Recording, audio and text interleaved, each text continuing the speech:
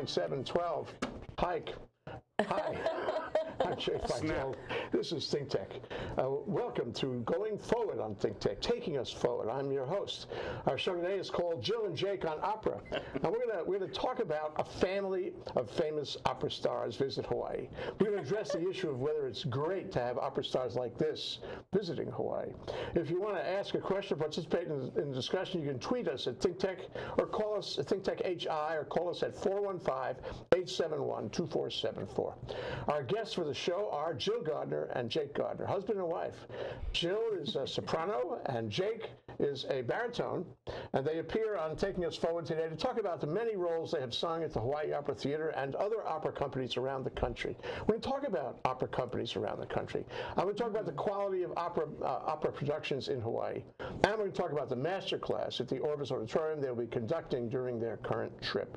Welcome to the show, Jill and Jake. It's great to have you. In fact, Thank it's you. an honor and a delight to have you here in our studio. Well, thank you. We're equally delighted. We are, And honored. Absolutely.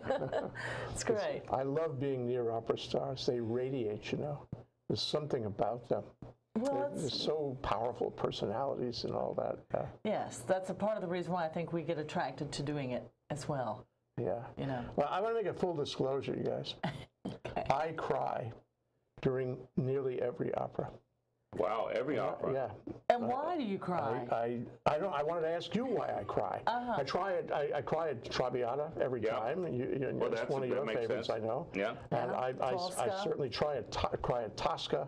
I love Tosca. and Madame some of the Butterfly. photographs. That's Madame right. Butterfly always. Well, I see you Lamb talking a lot of kills me. Puccini here. Yeah, And yeah, I Puccini guess was we a are. master at that. So why do I cry? Can you tell me why I cry? Um, because you are taken into a story and that there's a human truth in that story and you bring your truth to that story and it causes you to cry. Yeah. Yeah.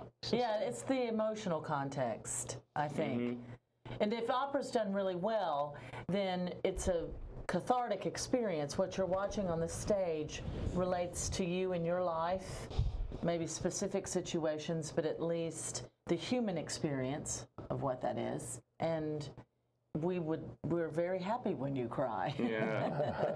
because know? these because these composers are the great channelers of Western civilization. These are these are they're all geniuses. Yeah. And Can you imagine us sitting in front of a blank piece of paper and coming out with Tosca? Yeah, or, right. Or coming out with uh, Peter Grimes or something. It, it astounds me. So the genius goes beyond the music, it goes beyond the libretto, it goes to our hearts, it goes to reaching us, touching us, finding this kind of common denominator of human experience That is really something. Yeah. Well, and that's why I think they, they oftentimes talk about opera is the um, culmination of so many different art forms put together on that that are then presented on the stage. So you're it's a dramatic situation that's being highlighted completely by this emotional musical context. And then when you have really good singing actors and you have the theater with the costumes and the sets that are sometimes very traditional in their production, sometimes not. I think the Hawaii Opera Theater being had a with a huge large group of success people, with Butterfly that way. Uh, putting your attention on that. That's right. yeah.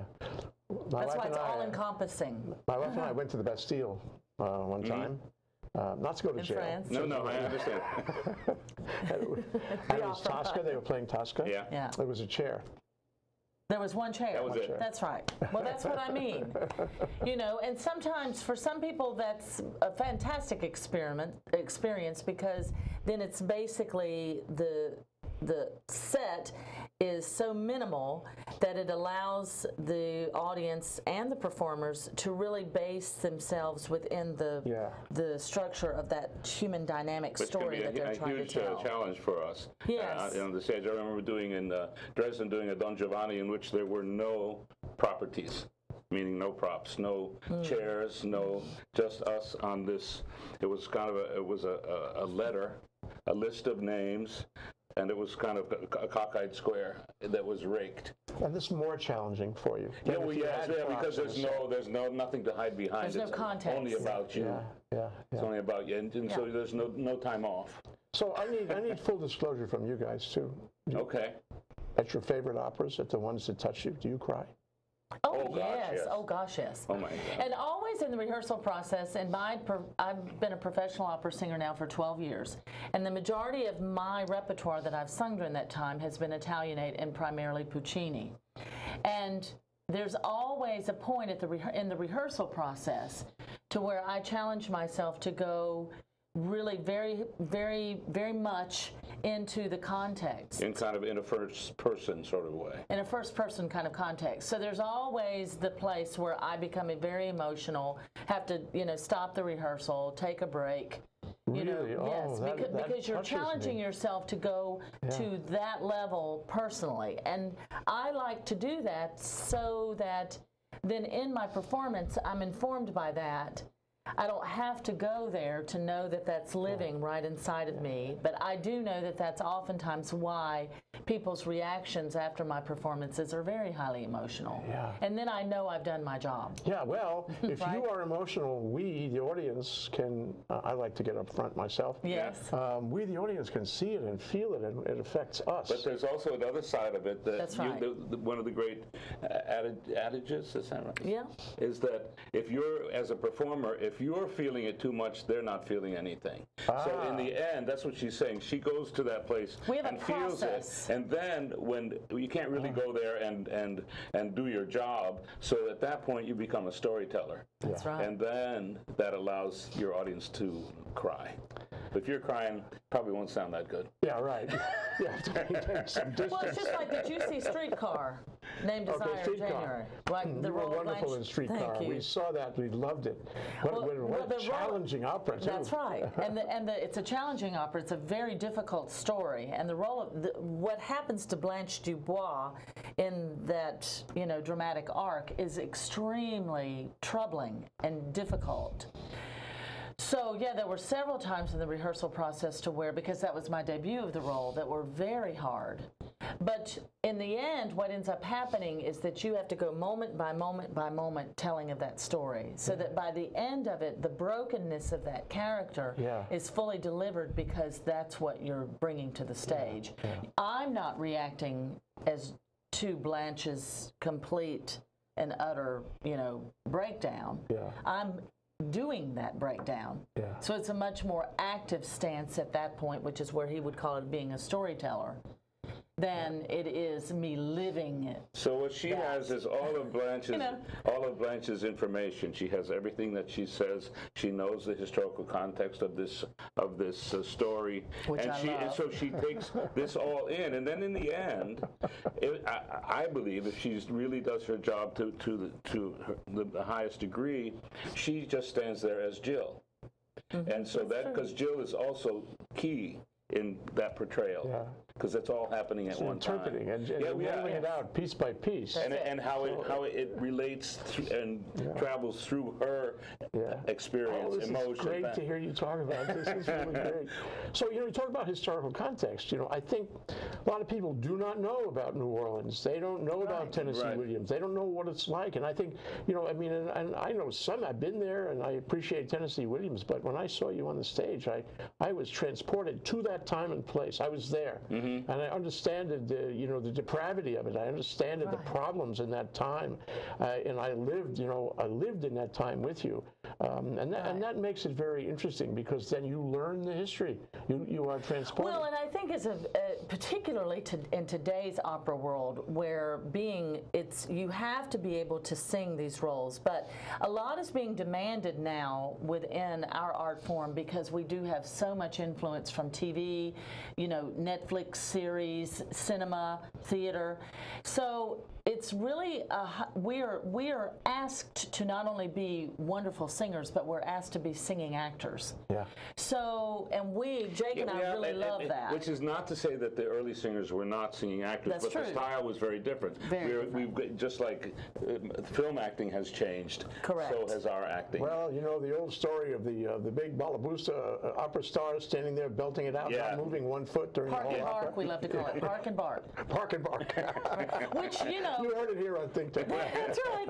well, if it's a really good barker, I don't mind. I don't either. We love great singing. I love great We- singing. For That's us, it that's, always that's the comes whole. That's to that's singing. that is the the, But the- we are dramatic of all of animals. And so for us, it is important that we do our research, do our historical context uh, d- uh, role study, so that when we are on that stage, we are inhabiting that character within that time personification period. of The the story and the- and it and the- takes and a the lot of time. Yeah. You know, like for, for uh, something like Blanche Dubois, I studied that for over a year in order to be able to even get to what I wanted to bring Funny way, that this. opera is more difficult, don't you think? Uh, Given the historical context, given the dynamic of the opera, the arc, well, as and, you the, call and it. the iconic nature of the play, and also the the um, movies that were made of it. For instance, and the Americana of it. Yes. right. This and well, but that's where, as a Southern woman, I was able, I think, to really bring that dimension,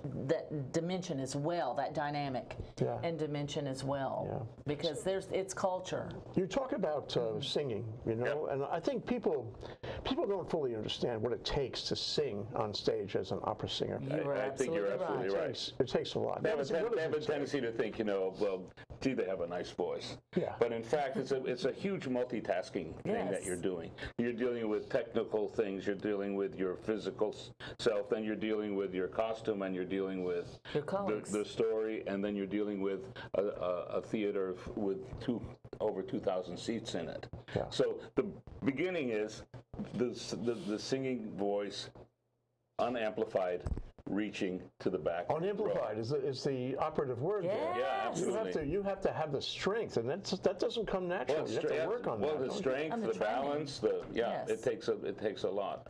So how do you achieve that? Well, many years of study. I think that, you know, for instance, I got into, I love to say that I got into opera through the back door because I was raised as a pianist and I studied piano all the way through high school. Very, very, that, that's what I wanted to do. And I got a full scholarship to be able to go and get my undergraduate in piano. But I always sang. I sang in church. I did shows in high school. And so by the time I got to my undergraduate on this scholarship to, to study piano performance, I took a voice minor. And I had a fantastic teacher, and that that's when my ability really showed itself. And so at that juncture, I entered competitions and won, had some success on the stage singing. And so everybody was like, Why don't you want to become an opera singer? And I was like, Well, because I'm a pianist. I want to become a pianist.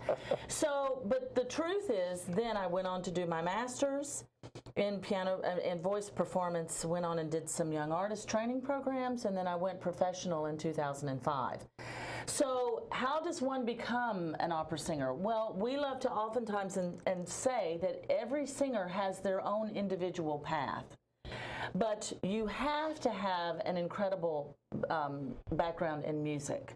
You I have mean- to have genetic talent in music. you have to have genetic talent in music Yeah, yes, I think so. I mean, think but, so. but for me, that's one of the great mysteries because why do I? Why did I look at this and get introduced to this and go, "Wow, this is amazing! Yeah. I really want to do this." I didn't have anything in my background that really pointed me in that direction, other than that, in, my- when I in my family, um, some sort of musical training was was you know uh, Required. very, very kind of required for a, an educated person. Yeah.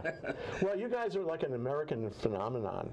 What I mean is, you know, the classic opera stars, you know, a generation or two or three ago, they didn't have graduate degrees. that's right They Right. didn't study music uh, through college and graduate school. Um, uh, it was a different path. Uh, but I think one thing is constant, and that is you need a teacher, you need a mentor, you need Absolutely. somebody to coach you and encourage you and make, make you do They your now best. call it they now call it having a team. And you see, I love my husband, but I have such admiration darling. for him as an artist because he's been in this business for 45 years. I've been professional now for almost 13. So I have a lot of respect for how he has done his career. And it has influenced me. It has inspired me. But I think where Jake, when Jake started in the American operatic scene, and when I came in, you know, 20 to 25 years later, it's very different now. But I think that the road still, if you're going to be a true um, and take your art true to your art form, the road is still the same. So that you have to have that kind of talent. You have to love this kind of music. You have to study your butt off in order to get better and better because the competition gets stiffer and stiffer. Ah, another point. Yes, and there are more and more people wanting, Wanting to to do do it. this. But you're, the teacher is the key. The teacher right. is the is the person who opens the door for you to look in, and if you have that bone in your foot, you see. I mean, I, I, if I had someone that that with, with the same teacher standing next to me who didn't, they would go and say. What? I That's right. I don't. So it's kind of it's a marriage between the teacher and the And student. it lasts a long may- time. In fact, it lasts, would I say forever?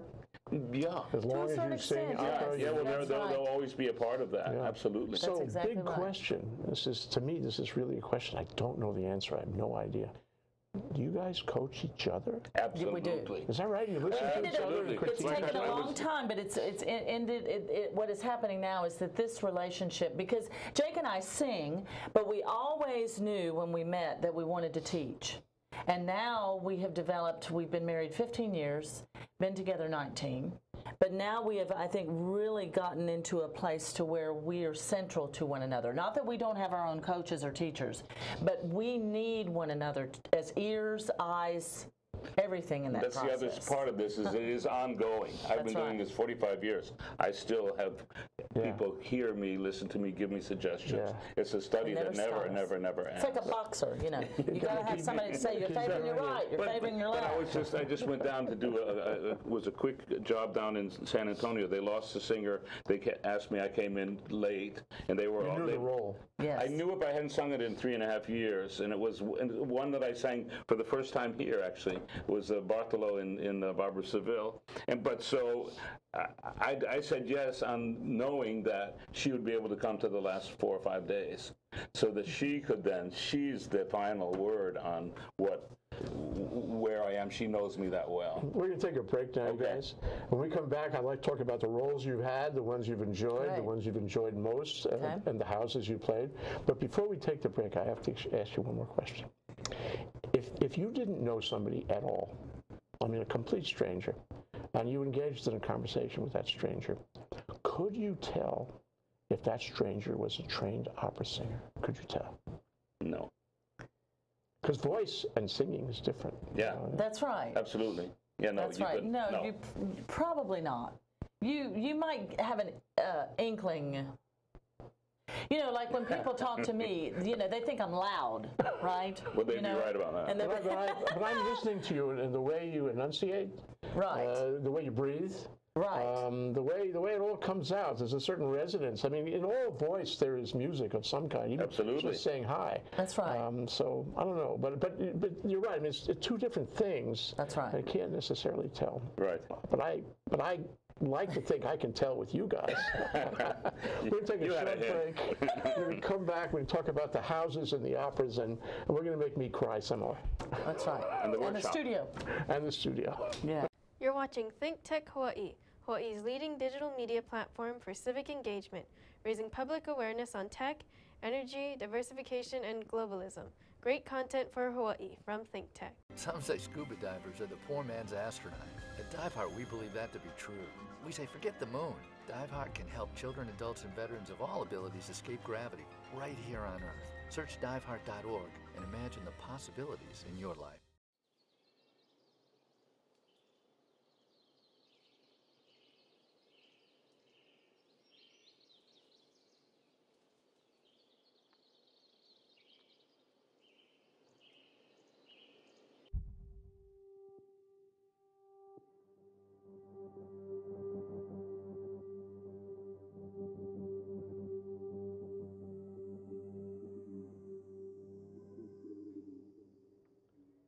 Okay. Oh, There we go. wow. Oh, give me a little Perfect, okay. Love it. Now, you're playing Scarpia. I am am. And? I'm playing Tosca. That's right. Okay. Uh, that is a fabulous picture. Oh, that's me. I thought it was gonna- That's a fabulous picture. not that That's one. right. But you gave us one picture that I, I don't know if we, uh, the staff can find it, but I would like to look at this picture, study this picture. It's the picture where Tosca is is killing Yeah. Well, we'll, we'll, I on we'll do a quick story about uh, the first Tosca we did together. How, how, how we know each other helps us go further in the in in that uh, depicting that story. But the first time we did it, we fought. She was after me. What you're trying? You're trying to control me, and she was. I can remember we were in, in a restaurant just having a wasn't knockdown drag out. There it is. there it is. Now there's drama Yes. there. I Yeah. tell you now. This picture burned a hole in my head just looking at it. Well, we oftentimes say now that we work on we work through a lot of stuff in that rehearsal process right there. yeah. yeah. But that's what he was saying. But, but Because it now, was- given given that we know each other, that we, we you can actually go further and be even worse and, and more dastardly because you know, it's not it's not someone you don't know. It's someone who gets it. you trust. Yeah. Just uh, in, in every uh, performance of uh, Tosca, um, when uh, Scar- Scarpia gets gets out there on the stage for the curtain call, am I right? Everywhere, they all know, right? You boo Scarpia. well, Well, sometimes. sometimes. Not always. Not ah, always. Okay, okay. But most fun is the kids. They really always do. yeah, because they see him as a villain, and well, Yeah, which well, he, he is. He is. You know. He's not a nice fellow. So, you know, one time I went to the, the Met, and uh, was it Tosca? Might have been. And it was an opening night. The New York uh, audience was very astute. And at the end of the, uh, the program, uh, I heard them booing. It was, it was Tosca. I heard them booing. The problem is they were booing everybody. And uh, it was a very discerning New York audience. This is a risk in opera, isn't it? Uh, yeah. That this audience decided they didn't like the performance at all, any aspect, right down to the conductor. Mm-hmm. And, um, I- you know, And that happens today. does it really? Oh, Does it absolutely. That happen happens only in New. York or in Chicago or anywhere? Well, when you refer to the Met, I mean, you know, I think that there are a lot of, like the most recent production that they made of Tosca, they sort of put away the Zeffirelli production, and the newest one that they have has not been well received by the audience from the standpoint of the set, from the standpoint of the direction. Um, sometimes it does have to do with the conducting, but Yeah. you know, I think that's the chance that they're taking when they update or change for a production creative, traditional take a risk. as Yeah. Tosca, which happens really between 24 hours, you know, on this particular date in June. That if once you start venturing out of that world, not that we don't love the artistic risk. That, that that's because we have done a, a production of Tosca that has been translated into the 1940s, sort of 1950s fascist Italy. So it's been updated, and it can work. But Which I, Jake is think, I, which I don't think is successful because that the context of that piece is so specific. the so Yeah, it's specific. Like, wedded like to a just having yeah. one one chair there doesn't really tell the story. I think it is not one that that translates or well. putting Scarpia in an SS uniform. You know, people, because that history is still very close to us today. and so the idea know? is to make it more relevant, but at the same time to put them in an SS uniform diminishes him. That's It right. does. It does. That's and right. It's, it, to me, to me, I'm a classical guy. To me, I would rather the audience learn about the period I would where the composer created this instead of changing the period because the audience they don't think the audience will understand the original period. Right. Let's It's- look at the original first. Well, you know? that's where, like what you were saying earlier, context, context, context. And that's where I think then the education up to the public on behalf of the opera company, you know, in, in metropolitan areas, Chicago, Houston, New York, Washington, San Francisco, you are going to have an audience there that probably has, that are big opera lovers and has have seen many productions. have a lot of have a perspective. Have a perspective. and, and certainly Europe even more so. That's why you Yeah. see things in Paris, That's okay, Germany. but I think then it behooves the opera company to educate the public on what they're getting ready to see. Now, like Butterfly, for instance, they did a, an incredible production here at Hawaii Opera Theater. This is under was- Henry Akina? Under Henry Akina, who it was the story and the context, but it was in a minimalistic Yes, I saw that. Kaneko's, I believe, right, production. And so, but, and it was received very well. You know, but I think they did a lot in order to prepare the audience and and to educate people through produ- Yeah, uh, shows like that. and it this. was consistent with the cultural, the Japanese Correct. cultural tradition. Correct. You know. Correct. Speaking of butterfly, do you guys ever have them? Yes. Butterfly? Oh, oh, I'm my sure. God, yes, of Yeah, yeah. course. Particularly for a debut. Mm. There's no way, you know, I've done, I, I did my 50th performance of Tosca last fall, for instance. And Jake said to me early on, when that was clear it was going to become a signature role in my career, he said, they used to say when he was working in Dresden as principal baritone there in Cologne, or rather in Cologne, they used to say all the time, you don't really know a role until you've sung it 25 times. and now I do understand. And you buy that, you accept under- that. Yeah, it's Yes. because well, you can practice it, you can do it, but once you once you're in front of the audience with the onus of telling the story, it takes you about 20 performances to then To say really get it to, to really wear it your and know it, know it. It's So like uh, we're second running out of time, and I, I did want to catch the most important thing, at least of your trip, I think. Yes. Yes. It's the master's class. Can you, tell me, can you tell me what that is? Yes, well, Hawaii Opera Theater is very special in the fact that they have had this Mae Z. Orvis Opera Studio, uh, young artist studio, but they also allow for many people within the community who are chorus members or who have a love for singing to be a part of this studio. They've, it, I think it's it really started under Henry, Henry Akina's administration, but we're very excited that as Henry retires and they move into a new administration, they're wanting to continue to further this. And so this is our eighth workshop with the Mae Z. Orvis Studio, to where we've come in the past for four weeks. Now we're here for about two, two and a half weeks. And a select group of people from the studio, we have 10 singers on this particular show that we're doing on June the 17th mm-hmm. in the Sacred Hearts Chapel. Well, that would be beautiful. it's, it, it, yeah, it's a sacred So it's a performance, the It- public can come and see it. Yes. But you're ramping up to it, yeah. Yes, and Correct. the, and the reason being that you can you cannot learn this in a studio. You can That's only right. learn this performing. Yeah. That's so you our have to belief. prepare, and you have to give the person you're preparing a chance to try it out and have That's their right. butterflies, and then also the onus of being watched Yes, is, performing. is, is, It's an huge. engagement there, yeah. Absolutely, absolutely. Well, we can't do what we do without an audience. It's a full circle effect, right? and the composers can't do it without us. Yeah. That's right. Thank God. sure. So they, so we get to hang out with them uh, every day. That's right. These- It's a, a and the other- synergy, and the other of thing that- multiple that- parts, and- yeah. The synergy of multiple parts. And the thing that we do is also we put we, we put together a little collage of scenes, and so it's not sort of walk out, sing, walk back. in recital format. So that we put it in sort of a theatrical juxtaposition, so that there's uh, it's about putting some acting skills together, That's right. along with the communication. That's what this is. So about. if you want to uh, participate, if you want to attend uh, on June 17th, um, At 7.30. At 7:30. It will be in the chapel at Sacred Hearts. do you have Okay. to, you have to call and for go to the uh, Hawaii There's Opera no- Theater website. Just go to the Hawaii Opera Theater Perfect. website and you'll find the information Yeah. about that. But we would love to fill that chapel for these 10 singers because they're terrific singers. That's and, and we are so thankful that Hawaii Opera Theater wants to foster this kind of local talent from the our, from our local uh, Ohana. I think it's very important. Yeah. Uh, HawaiiOpera.org. Um, Hawaii Opera, that's right, dot .org. but you know, uh, we could we could do another show with some of your singers. Yeah, uh, sure. You know, because you're going to be doing the same kind of coaching we were talking about before.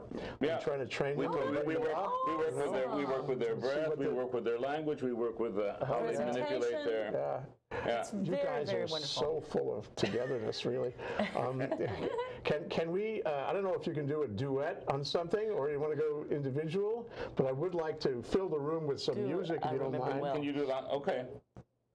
Oh no. Okay. Uh, we met at nine. We met at 8. I was on time. No, you were late. Ah, yes, I remember it well. We dined with friends. We dined alone. A tenor sang. A baritone. Ah, yes, I remember it well. That what was next? That the br- brilliant, that dazzling April moon. There was none that night, and the month was June. That's right. That's right. It warms my heart to know that you remember still the way you. Ah, yes, I remember it well. A little Jim from Gigi. Wonderful. Thank you, Jill. Thank you, Jake. You're welcome. Oh, you're Thank you, Evelyn. Thank you, uh, Simon. Uh, and uh, thank and a you, shout- Jim little shout out to, McCoy. It's to been Vivi wonderful. Freitas. That's right. None of this would be here without her. That's right. Thank you so much, you guys. I want to see you again soon. All righty. Absolutely. We would love to. And I can cry again. Yes.